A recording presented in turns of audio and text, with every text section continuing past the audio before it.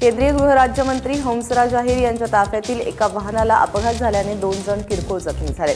नागपूरच्या दिशेने जात असताना मोरवा इथे ताफ्यातील एक वाहन चालकाचा गाडीवरचा ताबा सुटला आणि रस्त्याच्या कडेला असलेल्या झाडावर ही गाडी जाऊन आदळली. गाडीत बसलेले दोन पोलीस कर्मचारी या धडकेत किरकोळ जखमी झालेत. वाहनातील एअरबॅगमुळे कर्मचारी बचावल्याचं बोललं जात आहे. या अपघातात हा अपघात होण्यापूर्वी सुमारे पाच मिनिटांपूर्वी अहिर या वाहनातून दुसऱ्या वाहनात बसले होते.